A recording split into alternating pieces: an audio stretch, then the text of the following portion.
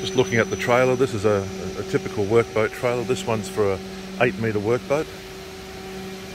You can see it's got a all the frame, all uh, all aluminium. These are your tie down lugs on the side. Again, aluminium, heavy duty. The uh, the axle group, the axles are in one group. So you see if you once you if you want to balance your boat out, you can uh, move the axles forward or backwards to get your balance right just under your, your bolts along here and slide that forward.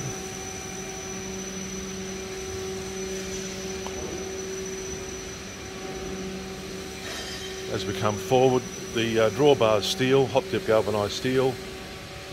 Everything else is heavy duty, ready to go. Jockey wheel, folding, uh, chain, heavy duty chain, the, uh, the coupling. Uh, these are the three and a half ton rated coupling with the, uh, the breakaway and the electronic uh, reversing solenoid lockout.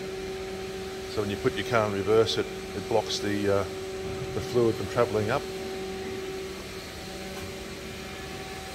But that's a typical trailer there. That's a tandem.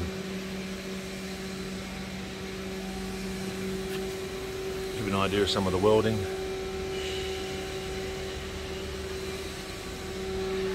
And you can see the, uh, the cables all run down the side. So all your brake lines are in.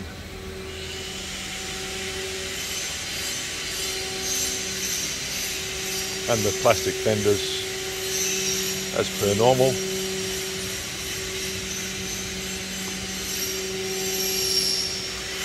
one trailer.